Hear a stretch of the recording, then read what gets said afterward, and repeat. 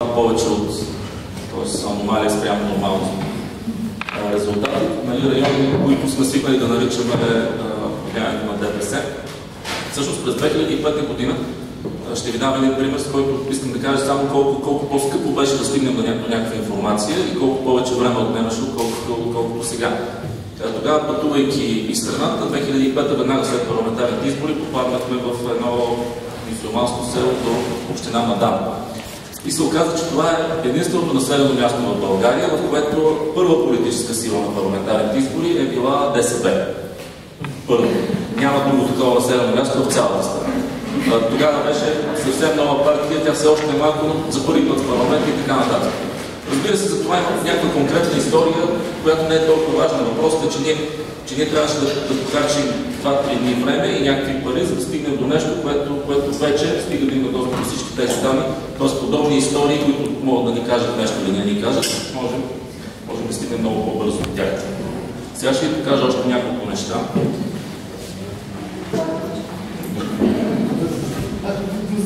Тоест нещата, които, които аз обичам да ползвам журналист, защото е лесно. Тоест някой е свършил тази работа, която върши, която върши хора като Пейо или, или поне той познава такива като тях. Някой е свършил тази работа вместо мен и стига да видя нещо. Да. И оттам нататък аз съм само от тези, които се възползват. Последните години винаги се така е било, че съм работил с много по-млади от мен колеги, аз съм бил най- най-дърти в екипа. И това, което непрекъснато казваха, търсете първоисточник. Тоест, дори когато говорим за данни. Защото вие като потребители на, на новини, сигурно много често четете, че безработицата в България е задминала средната за Европейския съюз, съобщи BTV. Или нещо подобно съобщи БТА, агенция Фокус и така нататък. Тоест това, това което винаги, винаги сме говорили с колегите и съм се опитвал да, да ги принудим да го правят. Какво е това? Не. А, да, да търсят първоисточници. Един сайт, който много често посещавам, сигурно и част от вас е Евростат, който е който е много удобен за, за журналисти. Примерно имам всякакви данни и решаваме, че ни интересува безработица. Искаме да видим като графика. Зарежда. Искаме да си изберем, примерно, последния месец на... Ето, той е избран на 2... Опс, вече сме тук. На 2012 година. Той сигурно е избран, да. И, и виждаме нещо, което, което няма нужда да чакаме някой друг да ни го съобщи, можем от, от първо лица, можем да сравняваме, можем да избираме периоди, можем да сортираме и така нататък. А, тук има абсолютно всичко и, и всъщност това е, това е достоверната информация. За съжаление, това все още не са се научили голяма част от колегите да, да го ползват. А, падава много. Просто е място, което, което всеки един журналист е добре да посещава и да знае как да работи с него. А преди няколко дни, не помня точно какво, какво се опитвах да направя, но бях забравил колко е минималната работна заплата в момента в България. Не бях сравнение с да направя, може би на, на предизборните обещания. И написах в Google минимална работна заплата. И всъщност първият резултат, който, а, който получих, попаднах на, не знам дали сте виждали, Google Public Data Explorer. Това очевидно е нещо ново, което Google разработват и все още не е, не е в пълния си обем. И, и понеже си е тяхно, разбира се, като напишеш някакви данни, винаги той излиза като първия резултат. И това е едно страхотно място, в което също има данни от Евростат Световна банка. А ако минете от тук, ако изберете английски язик, има страшно много повече данни, разбира се. И това, което хората са свършили, всъщност ние можем да, да се възползваме на готово, е, т.е. ако решим минимално възнаграждение в Европа. Може, може да сравняваш, а, примерно, искаме да видим България. Ето я България. Обаче, коя държава е близо до нас? Примерно, искаме да видим какво става в Румъния. И виждаш, че е малко по-нагоре. Добре, да не, да не скачаме на някаква, кой знае каква държава. Словакия. Опс. Айде се. Виждаш, че, че стана два пъти повече. Сега, ако сме, ако сме много нахални, можем да натиснем и Белгия и, и да видим какво се получава.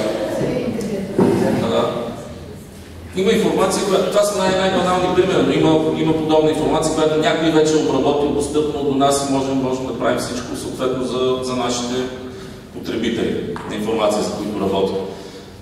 Спомните си преди кога два месеца станаха или няма, когато започнаха масовите протести, цената на тока, нали? това беше причината основната, поне, поне така казаха.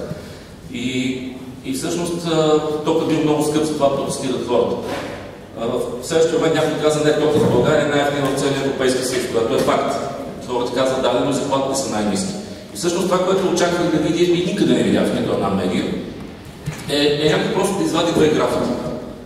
някаква средна сума спрямо потребление, разбира се, цената на тока не на киловатт час, да видиш, че, че е най-ниска в България и, и някакви средни заплати да ги наложиш, тогава вече разговорът става ясен. Тоест, всяки лозунги стават излишни и потребителите на информация научават, разбира за какво става въпрос. И, и става по-тясно за демагозията, понеже когато, когато нямаш нещо черно на бяло, много по-лесно може някой да, да, да, да говори глупости отгоре. И сега един, един български пример, страхотен, който е, сигурно сме го виждали, рейтинговата система на висшите училища в България, която по поръчка на Министерството на образованието беше подготвена от Институт общество. Огромна информация, публична за да бъде обработена, макар че не всеки има достъп до нея, за качество на преподаватели, за за реализацията на студентите за и много други неща, ако щете и географски признак, кое къде се намира. И сега решаваме да, да проверим класации и искаме професионално направление администрация и управление. Нали? Така, тук са изредени всички, всички висши учебни заведения, които предлагат подобно нещо. А, може да ги ограничим по, по география, но не искаме. Искаме да видим просто къде е най-добре, независимо независимо къде се намирате, независимо дали ние плащаме или държавна поръчка. Така, може би още на стъпки. И така научаваме, че разбира се Софийския и Американски университет са с най-добра най-добра класация, но ако искаш да напреднеш в администрацията и в управлението, може би е много важно да се завърши в Академията на Министерство на вътрешните работи. се появява на, на трето място. Това показва статистиката. Тоест, това просто ви показах три, три примери на, на група хора, безспорно кадърни ентусиасти, които са свършили някаква огромна работа и която, от която ние в медиите можем да се възползваме, стига да искаме веднага. Не само ние. Всъщност това е много по-важно за, за хората, които ще, ще работят в тази сфера, отколкото, отколкото за медиите. Сега още няколко неща. В началото ви спомена за Девид Камерън. И всъщност това, което той обещава преди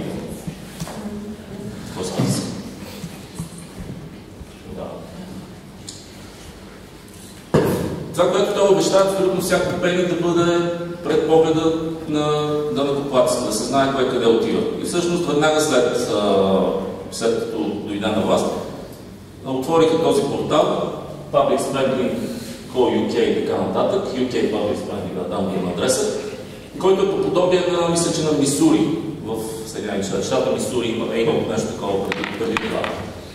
Където вече и за, и за разбирачи, и за маняци в тази сфера, може да използваш данни в някакви удобни формати, или да правиш каквото си искаш как с тях. Има данни за абсолютно всички бюджетни разходи, за абсолютно всички обществени поръчки, контрактори, субконтрактори и така нататък. И, и стига да има желание народът да накоплатеца, може да наистина да знае какво става дума и къде отиват всички пари. Със сигурност това се използва и от медиите. Защото в, примерно в днешния брой на, на капитал има нещо много, много ценно страхотна работа свършили колегите за корпоративна търговска банка. А, сега всички знаем, че голяма част от парите държавните са там, но никой не знае колко. А, и ако имаше публични данни за това къде са парите на държавните фирми, а, всъщност ние щяхме да имаме числото преди няколко години и нямаше да, да, да живеем в някаква зона на догадки. Защото в момента, последните 3 или 4 години, какво, какво правим медиите? сравняваме някакво, т.е. опитваме се да, да свържем няколко точки, които имаме в една мистерия. В един момент някой казва, те са 20% от нещо си, Бойко Борисов казва, не, не са повече от 400 милиона, собственика на банката казва, те са по-малко от 6% от общите активи в моята банка. И ние се опитваме да всички тези числа да, да намерим някоя средна и да кажем, да, толкова са парите. И дори в това, което днес са, свършили колегите в капитал, дори там има публични и неофициални според нас и така нататък, защото, защото няма. Тоест, всичко това го знаем предварително и можеше с едно натискане на, на копчето да видим къде са тези пари. А, може да е много наивно, но може би щеше малко по-добре да, да върви развитието общо политическо, когато всичко това е по на хората. Сега разбира се, много са модерни карти с престъпността. Това е Чикаго. Престъпление, като червените зони са над 4000 на 100 000 души население, под 500 са зелените. В момента, в който имате тази публична информация, всичко, всичко става много ясно. Това отдели споменах на, на първо място променя пазара на имотите, защото ако, ако в момента, всъщност в момента няма такъв пазар в София, но преди 5 години, когато имаше, тогава цените се определяха от някакви много странни неща. Тоест, близо, ако виждаш Витоша е по-скъпо, ако има план за метрото до теб също е малко по-скъпо и така нататък. А като няма канализация в плана? За това говорим. Тоест може да направим с канализацията на такава карта, къде има и къде няма. Докато така, така става много ясно и разбира се, че червените зони, човек не отива да вечеря там. Вечерта не си паркира колата, не си купува апартамент там и обратно. В зелените всичко върви по-добре. Също това помага и на хората, които са с управлението, не само на, на нас, потребители. Това е нещо подобно с най- най-опасните. Всъщност примерите са оттам, защото, не знам, вероятно са много по-напред тези неща и не можа да намеря много до България. Няма смисъл да разглеждаме подробно, но просто когато имаш публични данни, с брой на нападения, обиди, убийства, изнасилвания, т.е. всички тези а, тежки престъпления. И може да класираш най-опасните градове и там нататък всеки си прави избор, дали иска там да отиде да учи или не. Сега това е нещо в България, което не помня преди колко време. Точно бяхме заедно в Капитал Дели, когато палиха колите в София. Нали помните, че имаше един период, в който непрекъснато запалваха колите. И тогава, тогава го чухме за първи път от хора около, нас, които казаха, бе, ние работа в малко съм, ще отида с такси, няма да отида с колата. И, и в един момент на хората започва да се променя, променя нагласата, разбира се, че се притесняват. И макар, че са доста малко данни, те не бяха и толкова огромен брой случаи, те не бяха малко, и направихме една карта и всъщност много ясно се вижда, че имаш концентрация в два района, където това се случва който каквото иска прави от там нататък. Ако искаш да отиваш колата, ако искаш не, но важно, е, важно е да го знаеш къде става. Сега, всъщност ще бъде. През... Това е една шега, която със съвсем генов често използваме и с комитета, който се ще дойде. какво работим напоследък? Последната една година ние обядваме с дипломати това работим основно. Защото представителите на западни държави в България в един момент от една година насам започнаха да демонстрират някаква загриженост за свободата на словото и за състоянието на медиите в България. И ние буквално ден през ден сме някъде поканени, за да казваме какво е положението. Което леко ни изнервя, защото нищо не следва от тези срещи. Даже в един момент май ги разредиш. Казват грами на две. Да, да, пишат някакви грами. Както и да е. И всъщност в резултат на тези разговори може да претендираме, че, че един-двама посланици започнаха буквално във всяко свое изявление да казват, България преди 10 години беше на 34-то място по свобода на словото, а сега е на 87. Ако бръкнете в Google статията на посланиците, това е написали си го няколко посланника и само това повтаря. И всъщност това, това нищо не ни казва. В момента, в който не седнахме да го, мисля, че при няколко месеца за една конференция да, да го нарисуваме. И, и така става много страшно. Когато, когато го нарисуваме, разбира се, това е миналата година, сега 87, още по-надясно. По вижда се много ясно границата в средата, когато България влиза в Европейския съюз.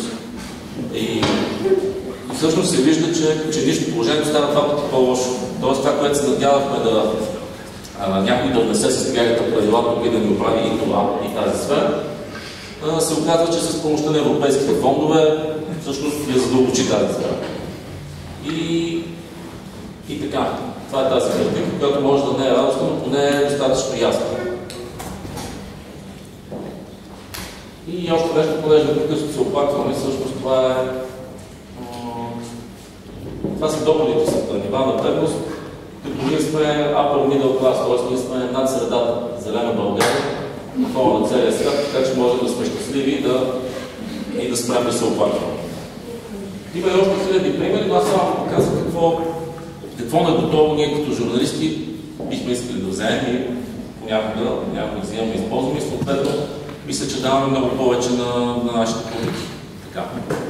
Ако имаме достъп до резултатите от изборите и ако имаме помощта на хората от вас, които, които знаят какво да правят с тези данни, вече наистина гражданският контрол може да бъде много, по, много по-сериозен и да научаваме много повече неща, а не да а не случайно, като и някъде да разберем, че нещо се е случило в някакво населено място.